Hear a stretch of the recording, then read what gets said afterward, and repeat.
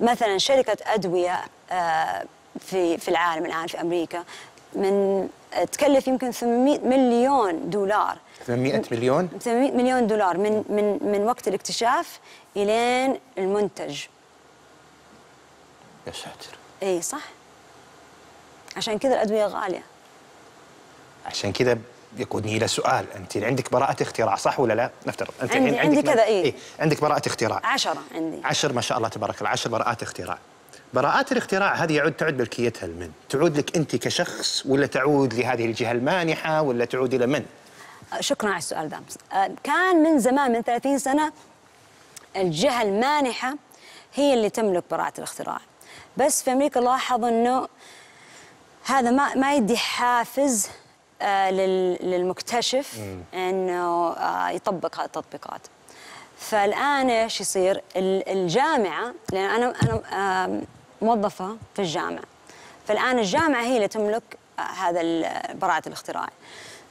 وكمكتشفة آه، في على براءة الاختراع آه، الجامعة آه، تدينا نسبة إذا إذا نجح ال- الاختراع وطبق وصار آه، آه، منتج. بس يحفظ باسمك؟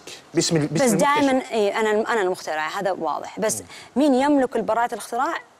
لأني أنا موظفة في الجامعة الجامعة تملكها إذا أنا موظفة في شركة والشركة اكتشفنا اكتشاف واخترعناه الشركة تملك براءة الاختراع.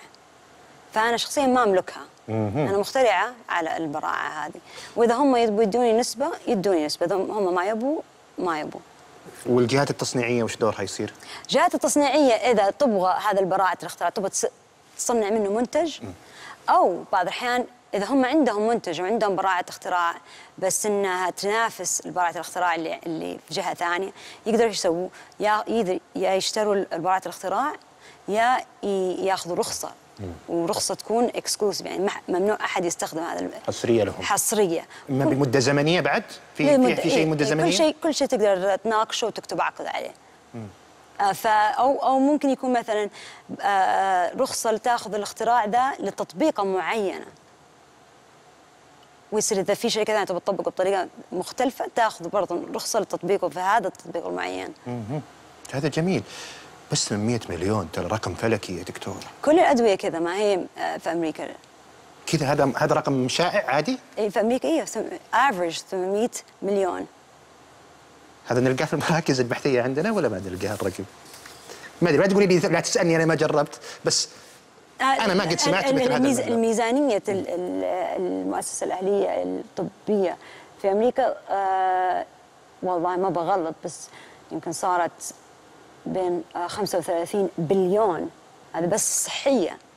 بليون. يعني في فلوس لتمويل هذه الأبحاث وال- والمنتجات وكذا.